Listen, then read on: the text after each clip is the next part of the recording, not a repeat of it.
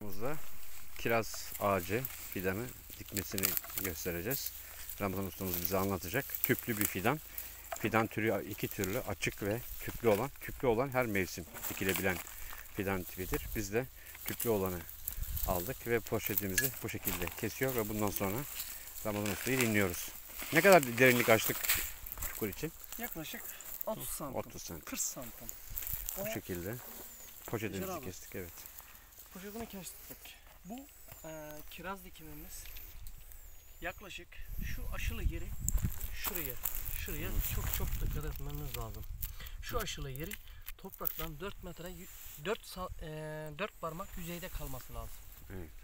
Yüzeyde kalması lazım. Ve bunun sağlıklı kalması için de dibine şöyle bir değnek veya bir tahta parçası dikerek bu ağacın rüzgarın sallamaması lazım. Ha bu tüplü fidanımız 4 mevsim dikilebilir. Normal fidanımız, tüplü olmayan fidanımız Ekim, Kasım aylarında dikilirse çok sağlıklı olur. Şimdi buraya koyduk. Şimdi örteceğiz. Doğru mu? Evet. Şu anda bunu örtüyoruz. Şu anda can suyu dediğimiz dibine can suyu veriyoruz abi.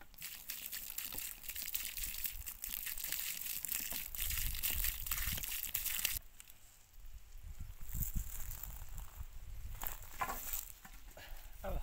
Bu ne kadar derin de olursa o kadar sağlam durması lazım. Buna bir bezle veya bir çaput parçasıyla da bunu bağlayabiliyoruz. Evet abi.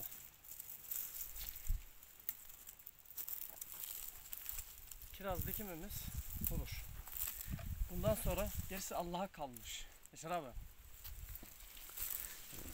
Allah yedirtmek nasip etsin. Amin.